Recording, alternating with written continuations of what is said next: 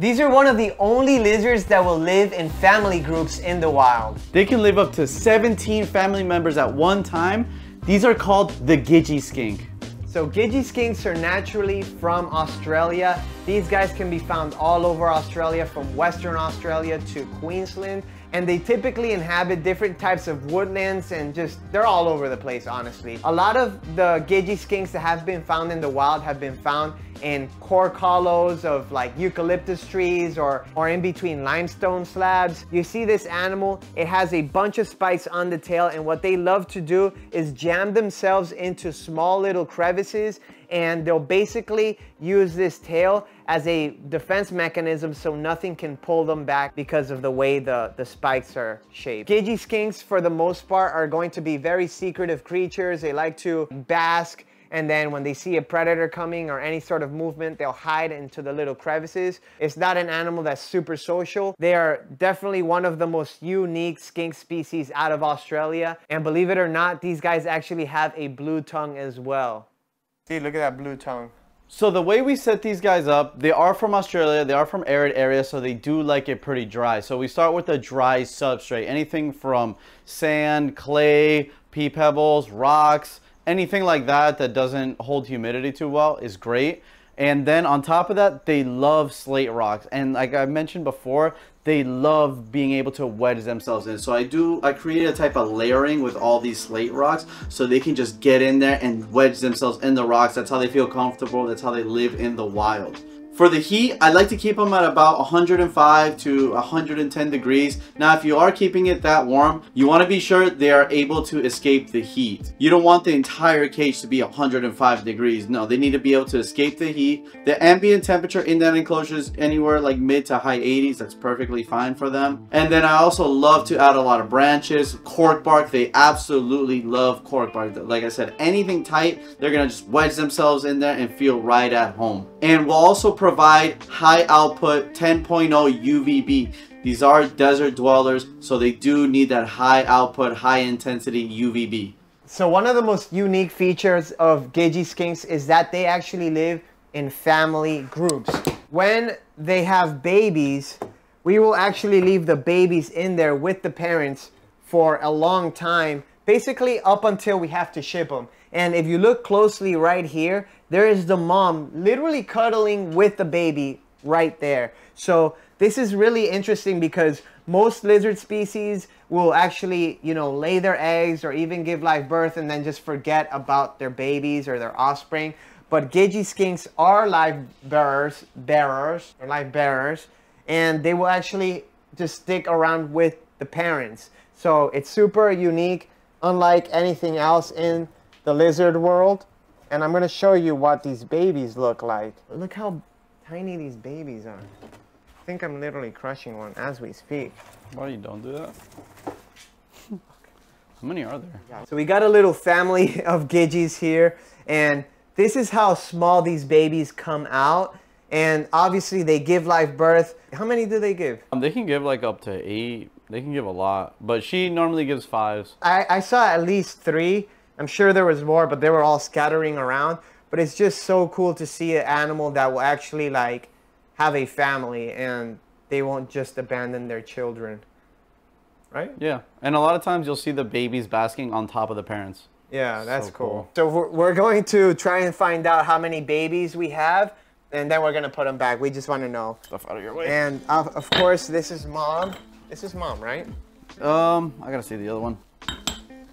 Might be. She still looks the, thick. The other one's higher pattern. Oh, oh, oh, oh. oh there's a baby. There's a baby. Well, I think is, this is mom. Wow, look at and look at the difference in these two animals right here. Obviously, this one is lighter, has a lot more pattern, but just a really pretty animal. This one's a little bit lighter brown. Uh, what's that? Three babies so Three far? Three so far. There yeah. might be a lot. Probably. Going that side. Watch. A lot of times the babies like to hide under this, so when I move okay. this. Oh, yep, I told you. Oh. Anybody lose one. They love this hiding under this thing. Where'd it go? It disappeared like Houdini. I know, right? With no trace. Yep. Oh, five. Two. Five, so five. Oh, no, wait, wait, wait. Wait, wait, wait. I know. I'm gonna, come on. Get, get, get over there. Yeah, so she's throwing out just fives. Good job, Mom. They're so pretty when they're fresh born. Look how much pattern they have.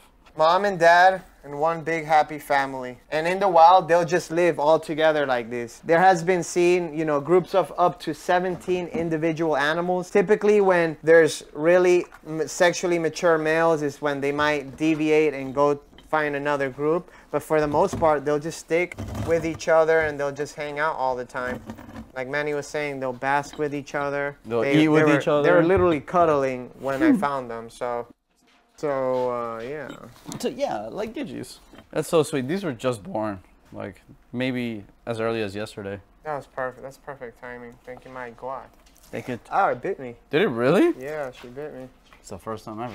And Gidgee skinks are notoriously hard to sex. I think most skink species are. One of the signs that, you know, males will have over females is that larger head. When they're fully grown, it's just hard to tell.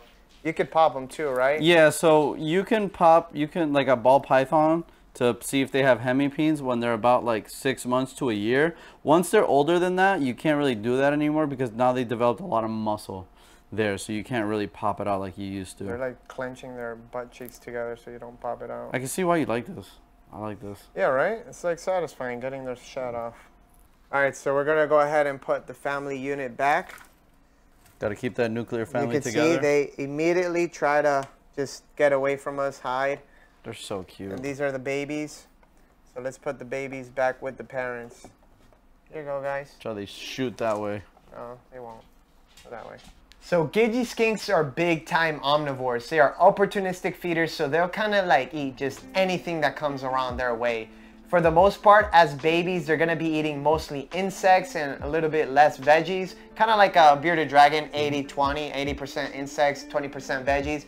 And as they get older, they tend to slow down and eat more veggies and less insects. They love anything from crickets, mealworms, superworms, uh, phoenix worms, waxworms. Variety is always key. Same thing with the vegetables. Any of the leafy greens, especially wildflowers. They love wildflowers, uh, hibiscus plants, anything like that, man. Like David Dandelion. said, dandelions. You put it in there, they're gonna destroy it. Now, whenever you have animals like these that are more arid type animals or for grasslands, you don't want to feed fruit. Fruit can be like a treat, like a blueberry or two here and there, but it's not something that you want to add into their diet on a regular basis. In my opinion, it's just better not to feed fruit at all. Stick with the leafy greens, the, the flowers, and you know alfalfa sprouts, things like that, and the insects. Now, whenever you feed insects, you always want to gut load those insects, and you want to make sure that you dust the insects with calcium and D3 for these guys. Very important.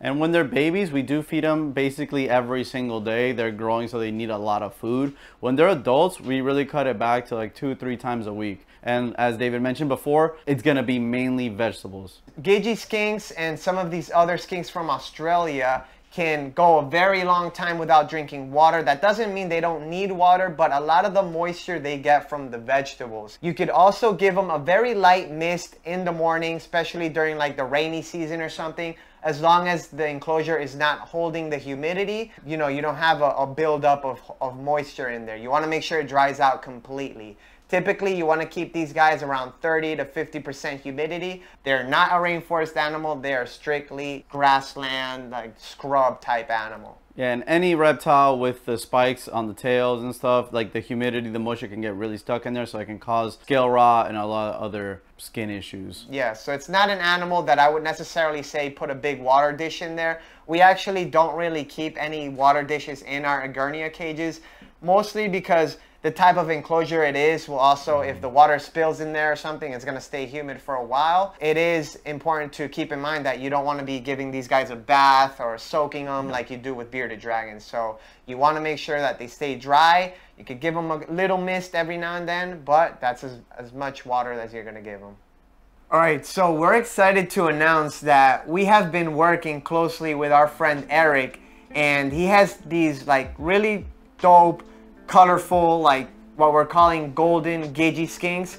And this is it right here. And we're going to be, you know, trying to breed these guys, trying to see what's going on exactly with them. They do seem to be a lot lighter and they have like brighter red eyes than the regular Gidgee skinks.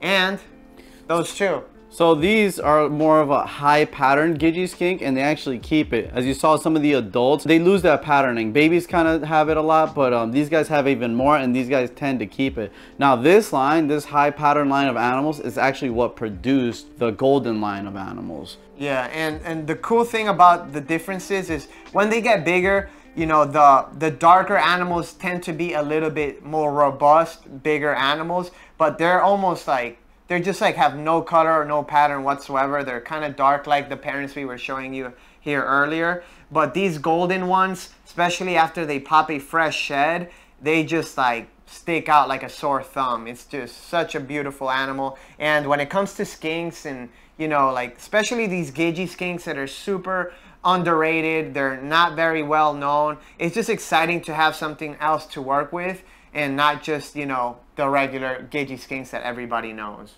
Now, if you are interested in any of these Gidgee skinks, the Goldens, the regulars, or the high patterns, we are making some of these available for the first time ever. So make sure you check them out on our website. And if you like our content, make sure you subscribe to all of our social media platforms. We got it all, Instagram, Snapchat, Twitter, TikTok. We got it all. Tiki's Geckos. Make sure you follow us for individual content on every single platform.